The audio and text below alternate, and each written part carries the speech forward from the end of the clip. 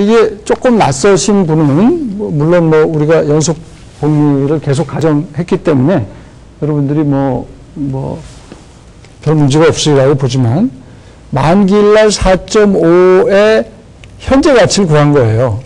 근데 여러분들이 이런 식의 표현은 좀 눈에 익을 것 같아서 이렇게 다시 한번 쓰겠습니다.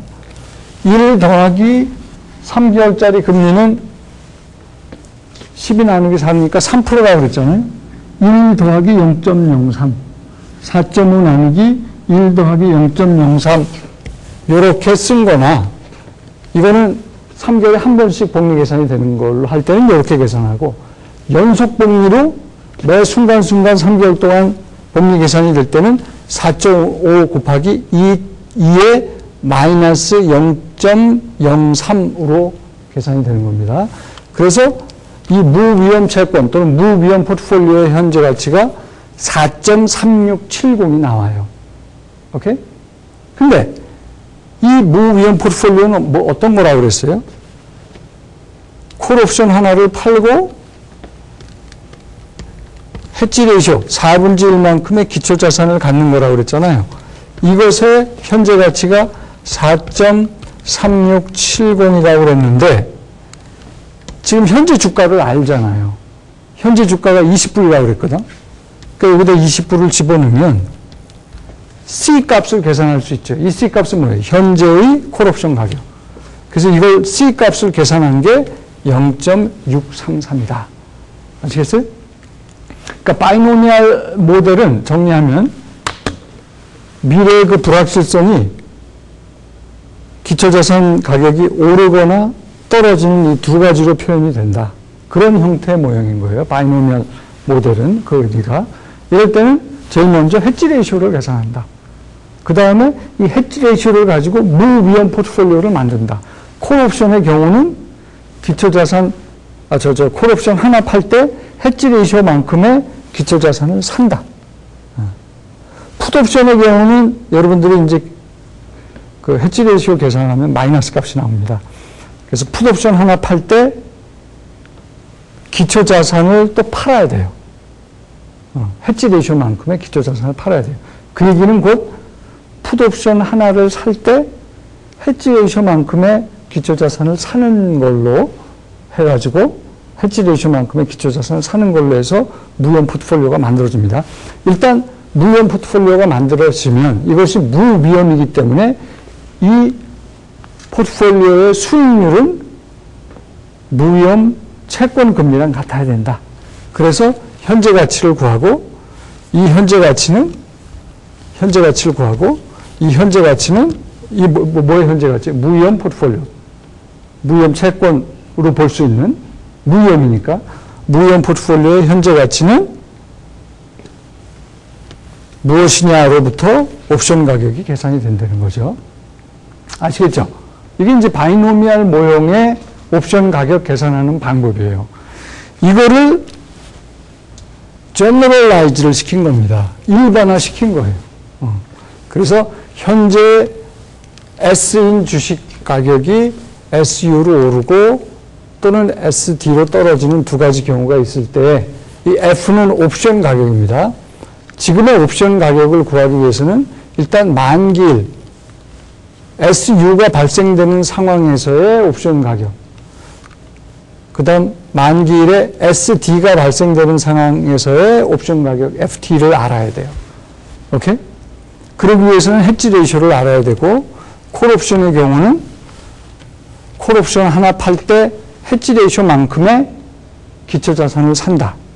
풋 옵션의 경우는 이 해지 레이쇼 계산하면 마이너스가 나온다고 그랬죠. 그래서 그냥 풋 옵션 하나 팔때 마이너스 hedge ratio만큼의 기초자산을 산다라고 보면 되는데 결국 풋옵션의 경우는 여러분들이 이제 여기서는 제가 예제를 뭐 준비를 안 했는데 어, 풋옵션 하나 살 때 마이너스로 계산된 것을 플러스로 만들어서 hedge ratio만큼의 마이너스로 나오는 해치 레이쇼를 플러스로 만든 hedge ratio만큼의 기초자산을 산다라고 풋옵션을 봐도 좋습니다. 하여튼 일반화시켜서 조금 전에 했던 계산을 똑같이 한 거예요. 그래서 해지 레이쇼 계산이 이렇게 된다. 왜? hedge ratio로 무위험 포트폴리오를 만들면 기초자산 가격이 오르든 떨어지든 이게 똑같아야 되니까 이게 equal이 성립되거든요.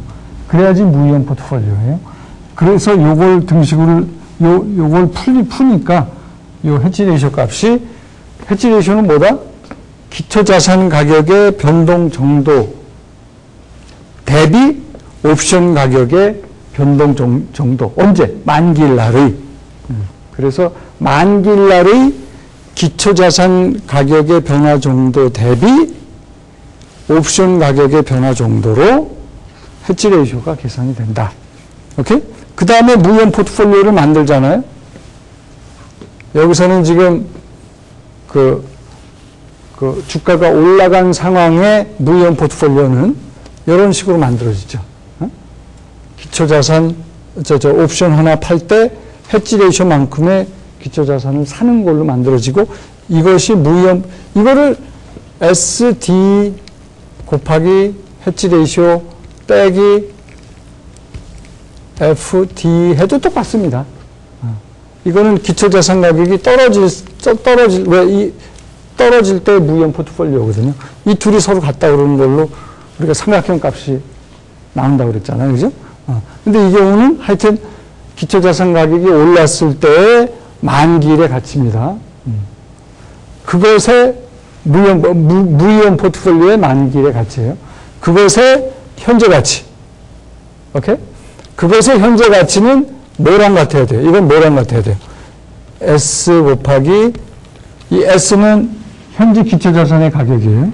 곱하기 해지 레이쇼 빼기 옵션 가격. 그래서 이것 equal 이거라고 놓고 푼 게 이거예요. 이걸 F에 대해서 푼 겁니다. 이거는 equal 이거다를 F에 대해서 풀면 이렇게 나오고 여기서 조금 전에 구한 요 해지 레이쇼 값 요거를 여기다가 대입을 해. 해서 다시 풀면 요렇게 나옵니다. 여기서 P 값은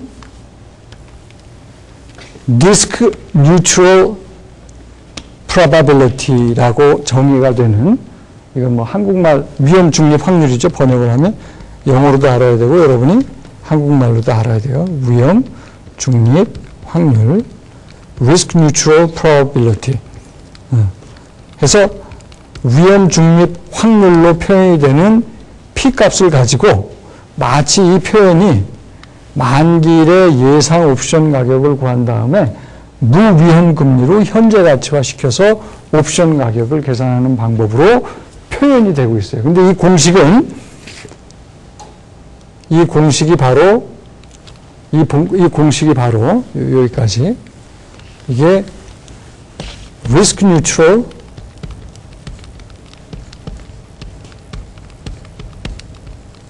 모델에 의한 옵션 가격 계산하는 방법입니다. European 옵션 가격 계산하는 방법이 첫째 binomial 모델에 의해서 어떻게 한다고 그랬죠? 해치 레이쇼만 계산하고 무위험 포 그것을 기초해서 무위험 포트폴리오 만든 다음에 그것의 현재 가치 무위험 금리를 가지고 현재 가치는 거기서부터 옵션 가격이 계산되는 걸로 표현이 됐잖아요. 그거를 일반화 시킨 걸로 해가지고 risk neutral 모델이 나온 거예요. 그죠? 조금 전에 설명이 바로 그 얘기죠. 근데 그 결론은, 이 결론이 굉장히 많이 쓰이는 결론입니다. 이 리스크 뉴트럴 모델이 뭐, 그, 굉장히 그 딥한 개념도 여기 숨어 있지만,